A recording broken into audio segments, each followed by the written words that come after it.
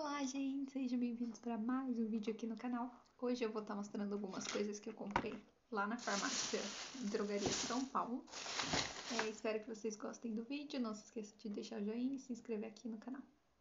Vamos lá. Vou começar mostrando primeiro essa mamadeira da Philips Avente, que foi 40, 39,90, 40 reais.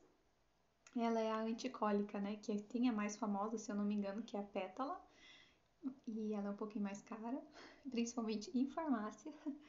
E aí eu achei que tava barato o preço dessa daqui. Eu não cheguei a ver na internet e talvez se eu ver vou me arrepender, né? Porque como a gente sabe, em farmácia tudo é um pouquinho mais caro.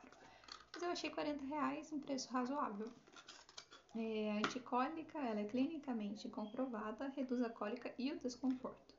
Ela tem uma válvula anticólica desenhada para manter o ar longe da barriga do bebê, fácil de limpar ela é a zero meses para cima, né? E aqui fala que o Ministério da Saúde adverte que a criança que mama no peito não necessita de mamadeira, bico ou chupeta. O uso de mamadeira, bico ou chupeta prejudica o aleitamento materno. Isso a gente sabe, né? E a criança acaba se adaptando é, à mamadeira, à chupeta e acaba largando o peito. Mas, como eu vou voltar a trabalhar e eu não vou conseguir estar tá amamentando ele durante esse período, o Afonso vai precisar de uma mamadeira. Então, quando eu estava montando né, o enxoval dele, eu não dei muita atenção para a mamadeira, tanto é que já queria ter comprado o kit, mas aí eu acabei deixando de lado, preferi comprar outras coisas, mas agora tive que desembolsar para comprar. E... Bom, aqui vem a mamadeira e um manualzinho bem pequenininho com informações, depois eu vou estar tá dando uma olhada. E aqui é a mamadeira. Ela é de 125 ml. Tampa. O bico dela.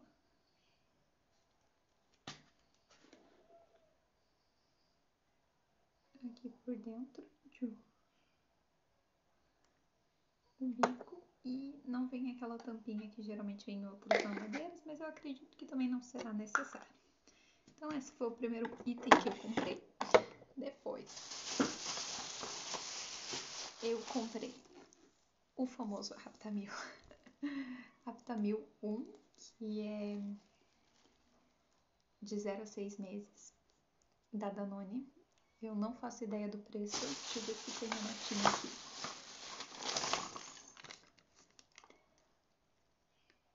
52,99. Acho que no supermercado e na internet estava mais barato, porque eu já cheguei a ver preço. Mas paciência, ele tá lacradinho, eu não abri ainda. É, dizem, né, pelo que eu já ouvi falar, que o Aptamil é o leite mais próximo do leite materno. E como eu ia precisar comprar, porque assim, ah, Jéssica, mas se você tirar, se você conseguir fazer reserva, conseguiria, mas não tô com uma produção tão grande de leite para estocar. E eu já deveria ter começado antes, né? Porque eu volto a trabalhar essa semana. Mas paciência, conversei com a médica, ela autorizou. Então, se você é mãe, é, consultem o pediatra antes de tomar alguma. É, alguma posição antes, né, para começar a se basear nos outros, não, assim, no pediatra do seu filho. Então, eu comprei um Aptamil. Não sei muito o que falar, né? Vamos ver como vai ser a experiência.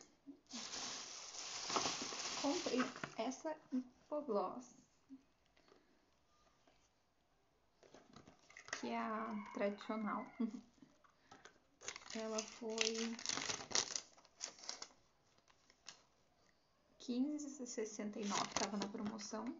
Peguei uma hipogloss. Aí eu peguei pra lavagem nasal esse soro fisiológico, tanto é que eu já abri porque eu já acabei de usar ele. Soro fisiológico da marca Evercare. É dose única, na dosagem certa, inalação, lavagem de ferimentos, embalagem não fracionável, não deve ser utilizado para injetáveis. Então, é, vou mostrar aqui para vocês, vou colocar aqui dentro para guardar, porque eu tirei. Então, é assim, ó, soro fisiológico, você destaca ele, né, dos demais, deixa eu destacar aqui. E depois, eu não vou fazer isso, você quebra e injeta metade em uma narina e a outra metade na outra, para fazer a aspiração.